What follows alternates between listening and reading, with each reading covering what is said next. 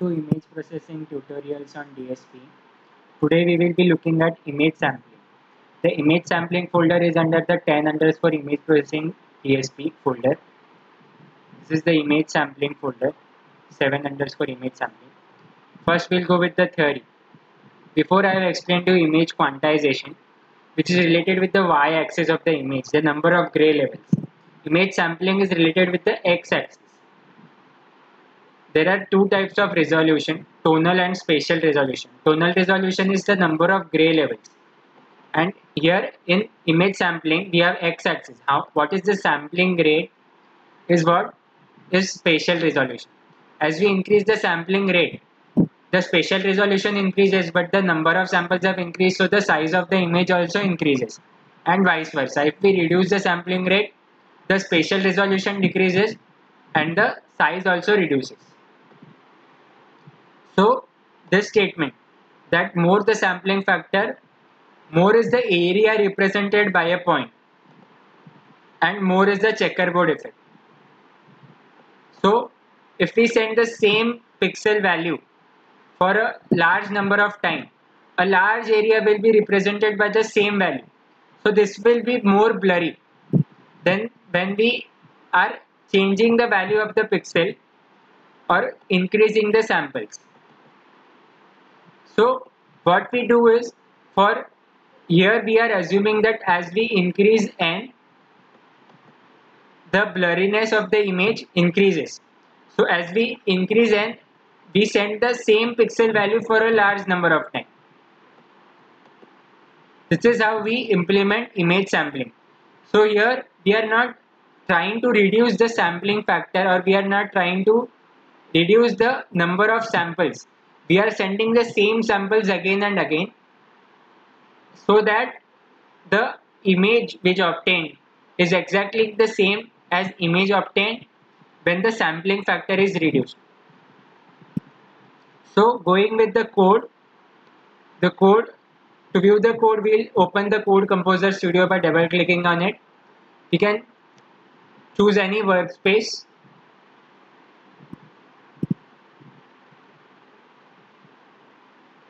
click on project import existing CCS project browse on the desktop.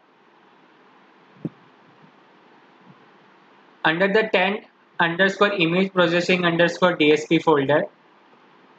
Under the image sampling import the image flash.pgt okay finish. We'll see the code first all the image processing functions are written under the image underscore processing underscore functions dot c file. Here we are looking at image sampling. The image sampling is a parameterized function. This is the function declaration.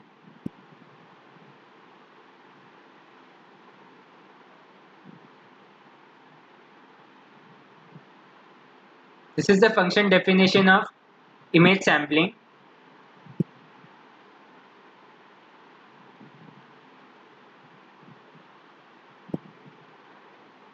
This type of output image.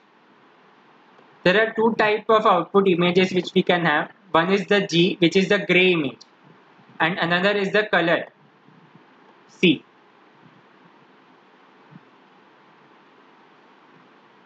So how these two differ from each other is the name of the image is sent according to the type but a color image is a 320 into 240 into 3 image whereas a gray image is a 320 into 240 into 1 image.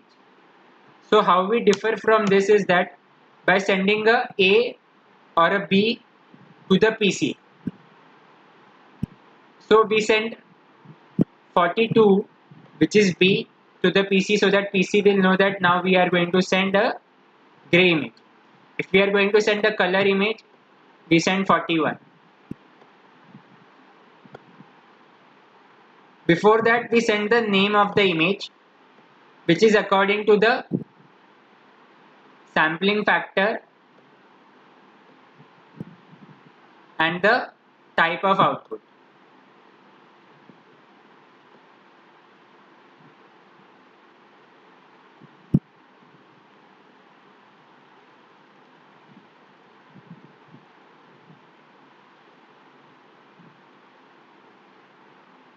So here initially we are reading from the flash.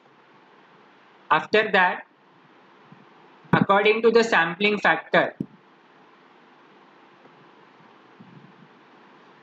we are calculating the now this is for gray image so it is a 320 into 240 into 1 image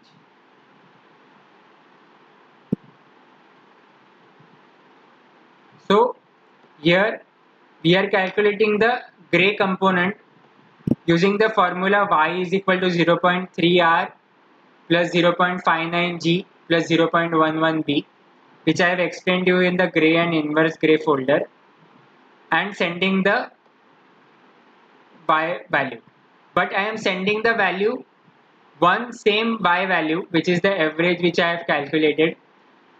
The number of times as many as the value of the sampling factor. Similar for sampling factor with the color image but here I am not sending the gray value. I am only sending the B, G and R values. B, G and R values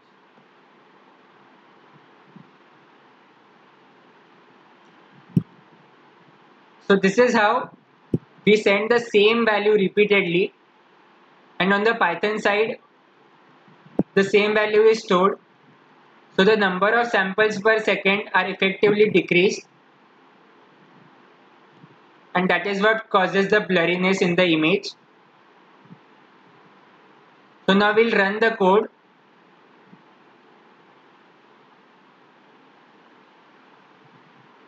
Before that we'll build the code first.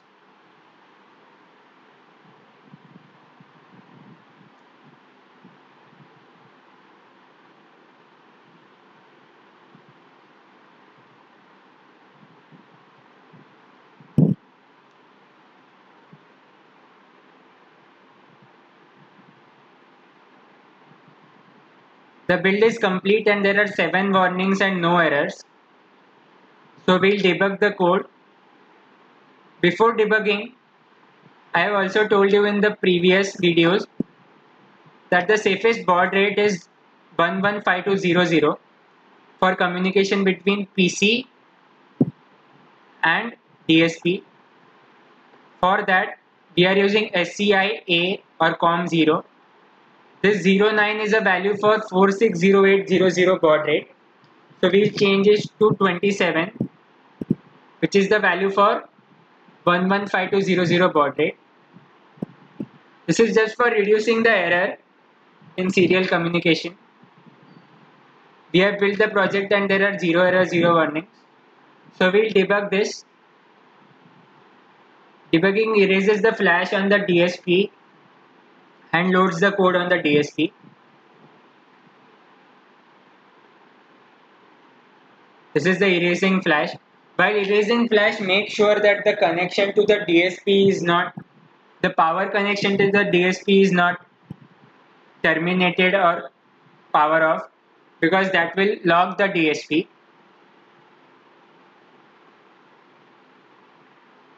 We'll run this code on the DSP side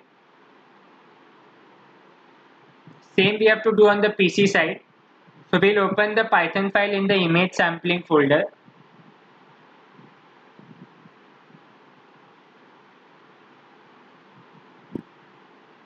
Here we'll edit with idle. Right click and edit with idle on the Python file. We'll change the baud rate which we have changed to 115200 comment the previous baud rate. The COM port is COM13 which we have seen in all the previous videos for this PC. To check what is COM port exactly, just go to the device manager, check the ports, there is the COM13, so we'll change to COM13. The image which will be processed will be a PC image so it will be directly from the PC this image will be processed, not the image which is captured from the camera.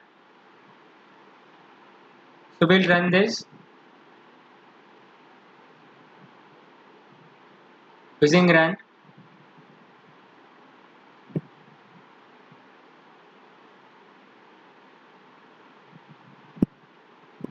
this is the image which is captured from the camera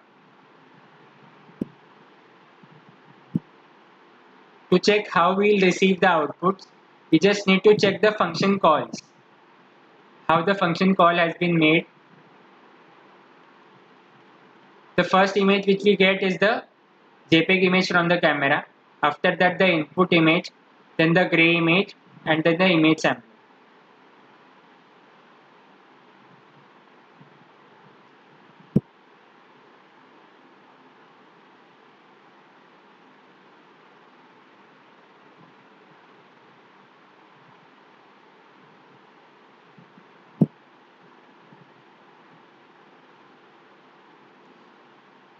See how this basically works is that initially this command is for this command is sent to the camera for getting a JPEG image. This captured image is stored on the flash of the DSP. The DSP sends the name of the image which is original image to the PC and sends the entire image which is stored on the DSP but this is a compressed image and it waits for the PC now to send the image. The, now PC has options to send the image which is the same which it has uh, received from the camera via DSP or any image which is just stored in the hard drive. And that image is written again to the flash of the DSP.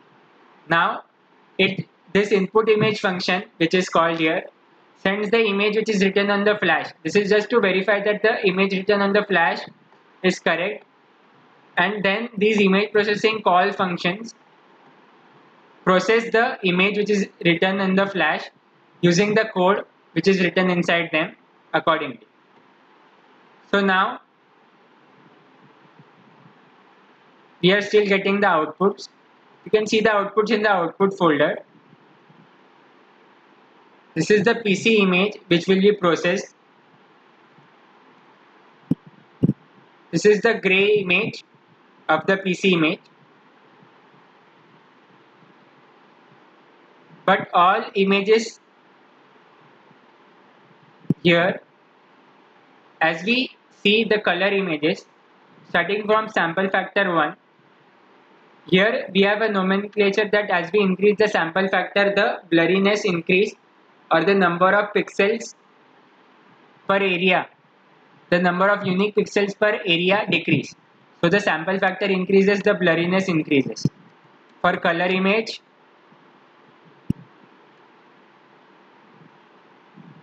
as well as for a gray image. This is all. Once we have seen the outputs, we can close the output folder. We have seen this well done here. So the process is complete, we can cl close the shell we are in the debug mode now. So before powering off the DSP we need to come out of the debug mode. So we need to terminate the debug mode by clicking the red button here. And uh, we can explore the code change or edit the code here in the main file or in the image processing function.c file according to our understanding and convenience